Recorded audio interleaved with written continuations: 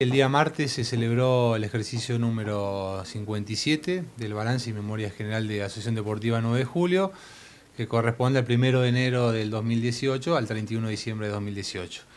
Eh, sí, la verdad que tenemos gratamente, eh, muchísima gente del club ha participado, más de 90 socios, entre ellos, bueno, empleados del club, empleados administrativos, profesores, docentes, es colaborador, eh, colaboradores, expresidentes de la institución. Eh, la verdad que, bueno, para nosotros es importante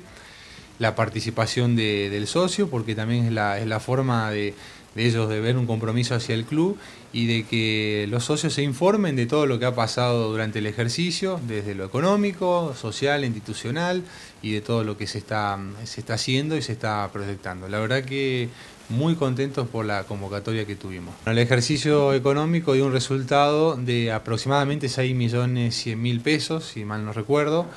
Eh, bueno, el, el, amplio resultado económico tiene que ver con el ajuste inflacionario que se hicieron de los balances, sobre todo este año,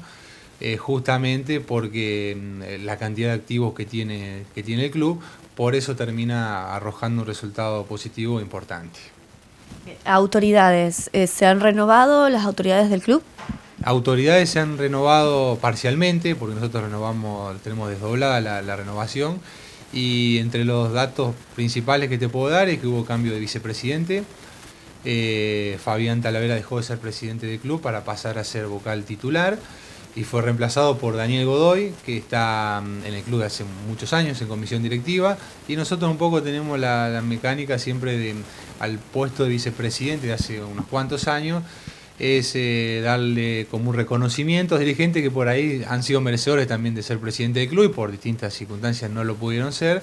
y que bueno, tienen mucha, mucha trayectoria y una forma de, reconocerlo. Dani Godoy hace muchos años que está, casi toda la vida que está en el club y bueno, hoy está en el fútbol de inferiores y, y bueno, una forma de reconocer su, su, trabajo. Y Fabián sigue como vocal titular.